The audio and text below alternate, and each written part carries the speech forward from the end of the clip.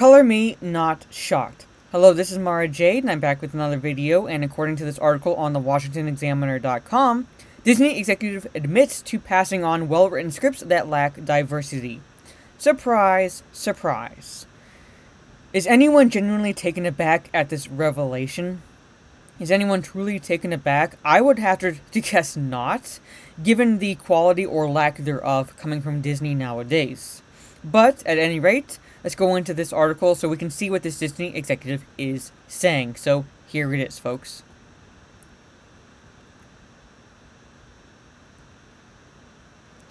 A Disney executive said the company has passed on well written television shows that did not meet its inclusivity and diversity standards. Shocker. Dana Walden, Walt Disney Television's chairman of entertainment, said that the network declined to pick up a show about a white family in which diversity would come from the supporting characters. Well, God fucking forbid. Quote, that's not going to get on the air anymore because that's not what our audience wants, Walden told Time contributor Janice Min at an April panel discussion hosted by Chapman University and Glamour. That's not a reflection of our audience, and I feel good about the direction we're moving. Yes, that's not a reflection of your audience because your audience is the Twitter outrage mob uh, virtue signaling for brownie points. That's what your audience pretty much has become nowadays. It's not the general movie going and television watching audiences that only care about good stories, that only care about good characters, and the good characters go more than skin deep qualities of skin color, gender, and sexuality. The qualities extend beyond those superficialities into hopes, dreams, moral compasses, thoughts, actions, and so forth. That's what people relate to. That's what normal people relate to. They don't care about the character's skin color, gender, or sexuality. They don't care about those. That's not what people relate to. If you can only relate to a character based on one of those three qualities, then you are superficial yourself.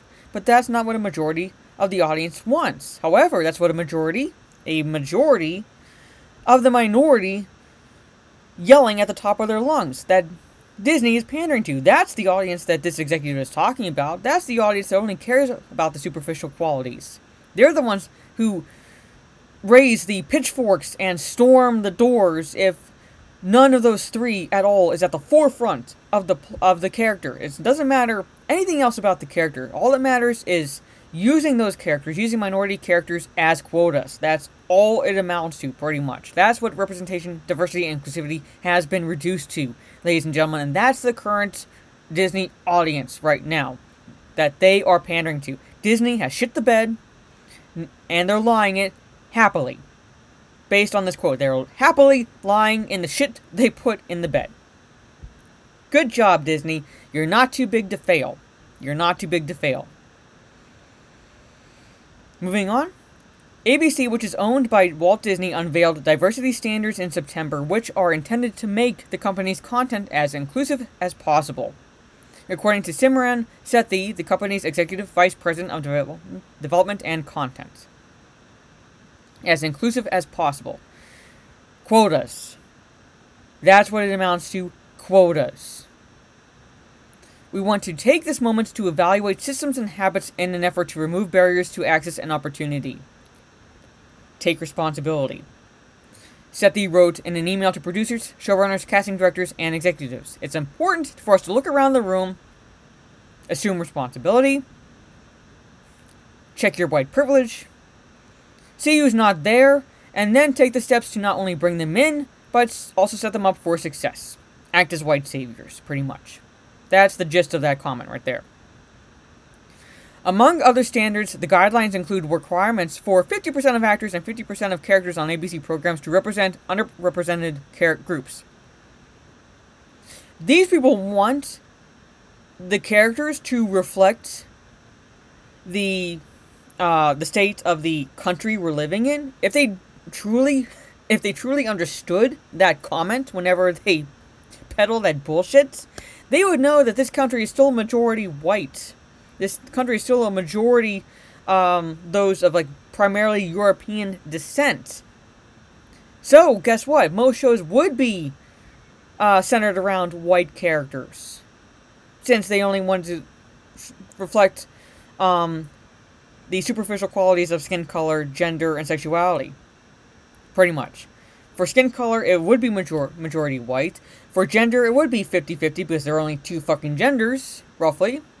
And for sexuality, well, guess what? Still in a tiny minority.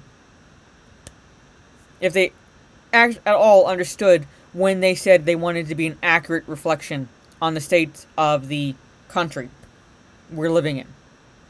But they don't. They don't. It's all about virtue signaling. It's all about pandering. It's all about using these people, these characters, as quotas, as props to pander to audiences that really do not give a shit at all about an IP or other uh, intellectual um, franch- franchise, I should say.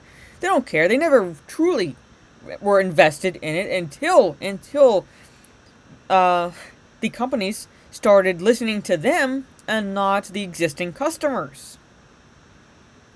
That's it. And I'm all about bringing in new fans. I'm all about bringing in new fans. But when those fans start making demands on what the intellectual property should encompass, what the character should be, what they want to see should come at the forefront, at the uh, front of the line, as opposed to the people who've invested time and money into the property. I have a problem with that. And that's the people these uh, companies are pandering to. The document outlines similar standards for directors, producers, writers, and other crew members. Basically, hire based on skin color. Let's fight racism by hiring based on skin color. You're judging them based on their skin color. How is that fighting racism? You're hiring them based on their gender. You're judging them based on their gender. How is that not sexism? Because it's in a positive connotation? Well, sexism is sexism regardless of the connotation, positive or negative. You're still judging based on that quality. You're still judging based on skin color. So, positive or negative, it's still racism.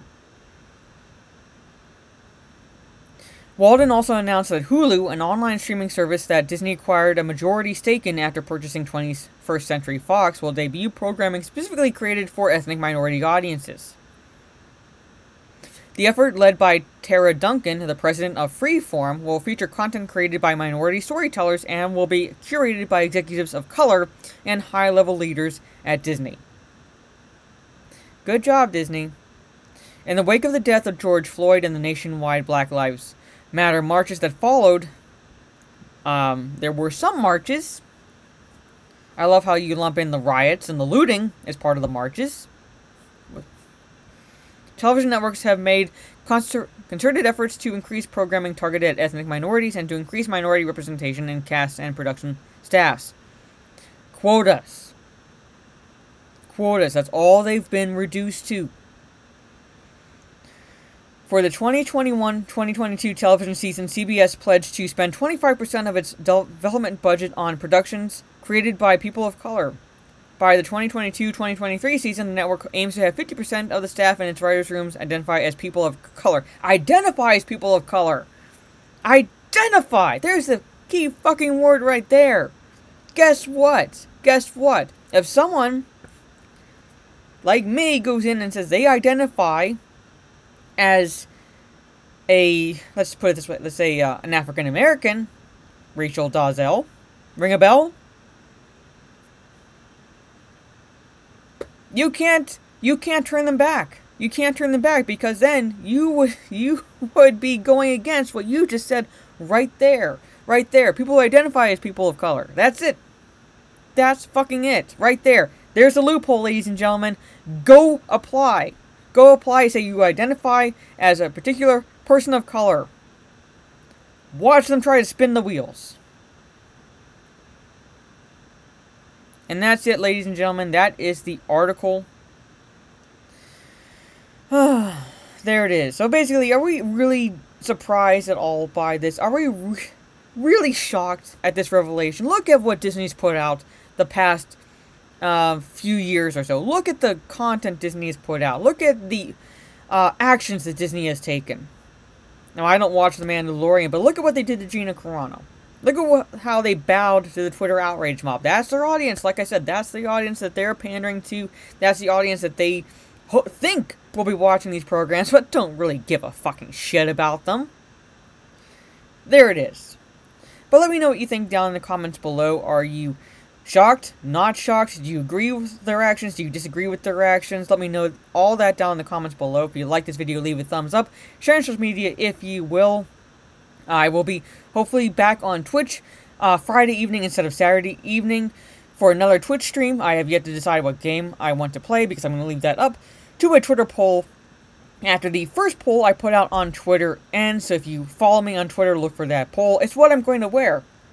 What you guys want me to wear on my Twitch stream this Friday. So if you haven't voted, go find that uh, post and uh, vote in that poll. And then after that, I'm going to do another poll of what game do you want me to play this Friday evening while wearing said choice from my followers. So if you uh, like, share, and subscribe, follow me on Twitter and on Twitch, Jade underscore Fire, for more Twitch related content. This is Mara Jade. Catch you on the dark side, and fuck you, Disney.